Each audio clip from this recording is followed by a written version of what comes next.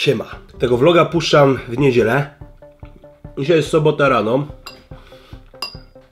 Wiecie co mnie bawi? Że wielu z was będzie w tym momencie na kacu. Jest to śmieszne. Mmm, ale dobre. Ludzie, powiedzcie mi, co jest z wami nie tak. Często jak wstawiam wam krok po kroku, jak robię jakieś posiłki, to wy mi piszecie na Facebooku, jak to zrobiłem. No kurde. Ej, sorry, macie oczy? Serio, wysilcie się kiedyś i pomyślcie. Ja wiem, że żyjemy w takich czasach, gdzie e, komputery przejęły e, tą funkcję właśnie myślenia, ale serio, owsiankę chyba każdy skuma jak zrobić, nie? Mam mały problem, jeżeli chodzi o mój setup e, do filmowania. Tutaj chodzi dokładnie o statyw. Mały statyw przenośny, którym można wszystko nagrać, prawda? Ten job jest polecany przez wszystkich. Naprawdę e, wszyscy vlogerzy i tak dalej to używają. E, Do mnie on tak średnio przemawiał.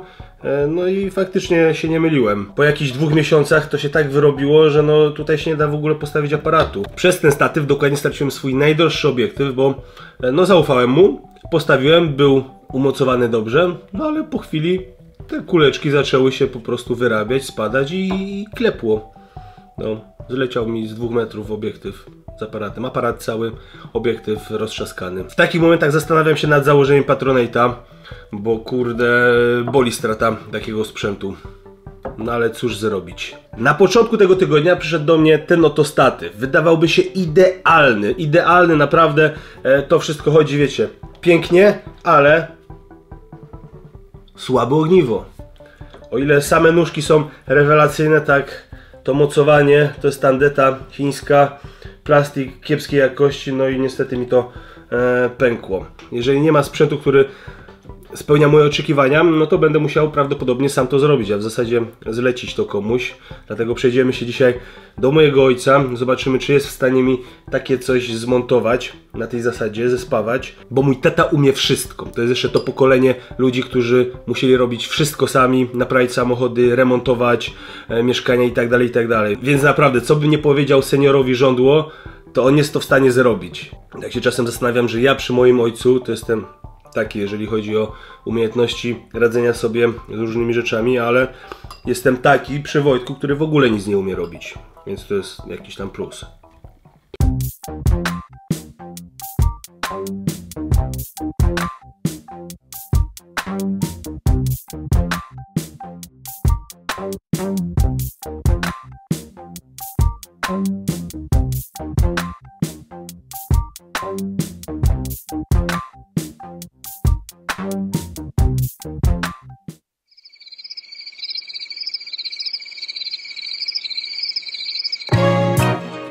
To jest niesamowite.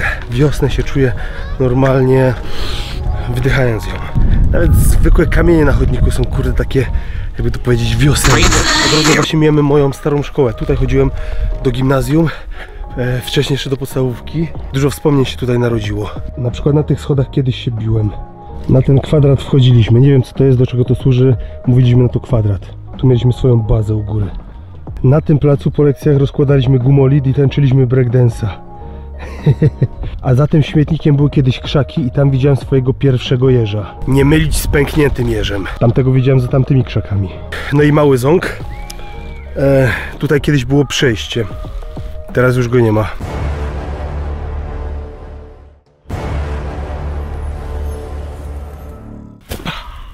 Ninja.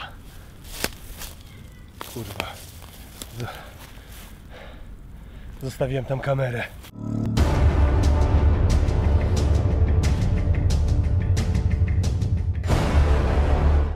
Podwójne ninja.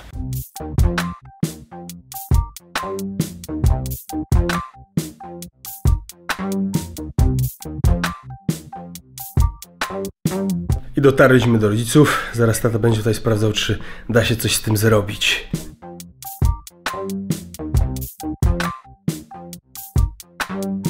Panie majster, da się coś z tym zrobić? Oczywiście. Uciąć, skrócić i wyrzucić. Jak kupujesz szajs, to tak masz. Piesieł? No piesieł jestem, tak? Piesieł jestem, tak? Taki piesieł jestem, tak?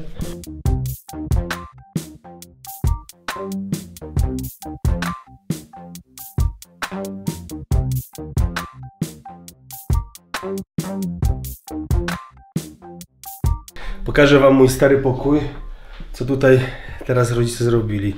Masakra, jakaś graciarnia. No ale to przez remont. Często zadajecie pytanie, czy mam psa, czy nie mam psa. Co z tym psem? Otóż prawda jest taka, że pies jest ogólnie mój. Powiedzmy gdzieś tam mojej mamy do spóły, bo razem chcieliśmy psa, no ale z racji tego, że mnie dużo w domu nie ma, gdzieś często coś nagrywam, Sandra to samo, e, siłownia i tak dalej, więc no psina by została w domu sama, często gęsto, więc no został tutaj z rodzicami, e, no i ja go co jakiś czas odwiedzam. Co to za rasa, też się pytacie. No jest to Syberian kaukaskie, tak poważnie e, miał być Amstaffem, ale tak to jest jak się kupuje psa bez rodowodu. Jak ja jestem koksem z twarzą ministranta, to to jest Amstaff z twarzą boksera.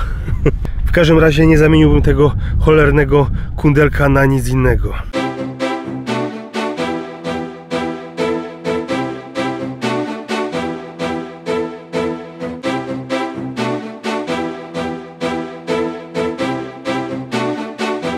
Na zagórskim rejonie nie jest kolorowo.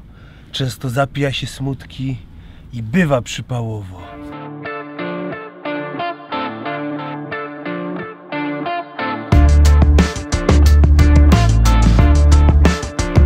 Przygotowałem dla Sandry małą niespodziankę. Moja żona jest y, fanką Beyoncé, a że przyjeżdża ona w tym roku do Warszawy na koncert, no to mam dla niej bilety. W zasadzie mam, no zaraz będę musiał je narysować, bo wczoraj dopiero zamówiłem, no i jeszcze nie dostałem ich. Sandra do tego stopnia uwielbia Beyoncé, że nawet na naszym weselu z dziewczynami zrobiły mi niespodziankę i zatańczyły układ właśnie e, do jej muzyki. Więc chociaż w takim malutkim stopniu będę mógł się jej odwdzięczyć. Dodatkowo jeszcze wczoraj mówiłem, że to są za drogie bilety i nie ma szans, żebyśmy tam pojechali, bo są inne ważniejsze wydatki.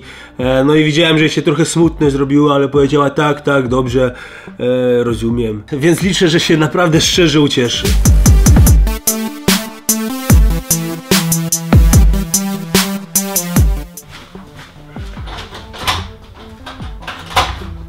Mocno otwiera okienka.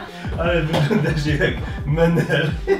Siadaj, sam będziesz jak menel. Coś ty tu namalował.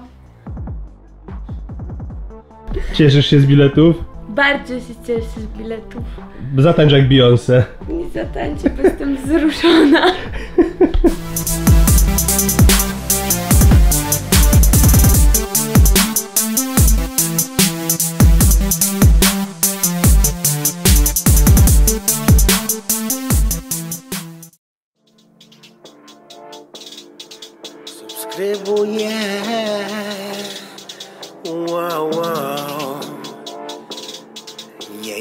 nie.